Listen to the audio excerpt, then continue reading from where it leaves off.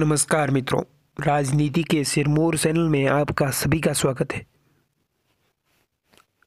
चलिए आज फिर राजनीति की बातें कर लेते हैं कि कौन सी सीट आने वाले लोकसभा चुनाव में वोट बनेगी और क्यों?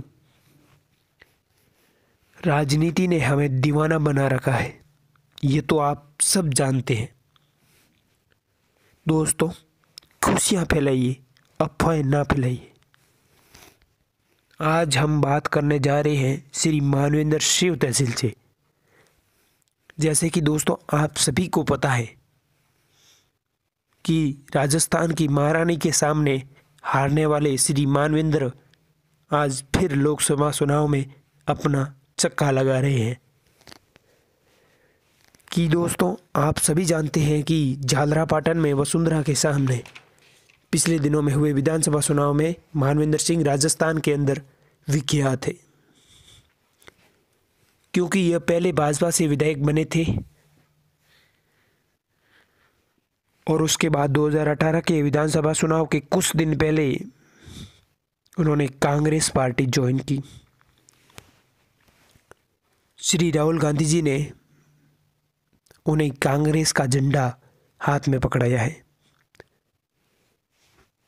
और उसके बाद इन्होंने अपने ज़िले से चुनाव न लड़ते हुए जालरा पाटन में वसुंधरा के गृह गाँव से इन्होंने चुनाव लड़ा है, जो वसुंधरा राजे सिंधिया के सामने कड़ी पैठ जमाई है। मानवेंद्र, बाड़मेर जैसलमेर से बाजी बजाएँगे लोकसभा चुनाव की। दोस्तों, आप सभी को मालूम है कि मानविंदर सिंह जी की कांग्रेस में आते ही हुआ एग्ज़ाम। जालरापाटन सीट पर वसुंधरा को हराने की चुनौती।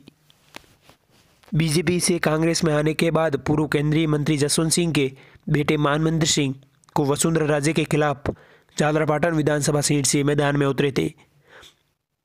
फिर भी काफ़ी वोटों से हारे थे।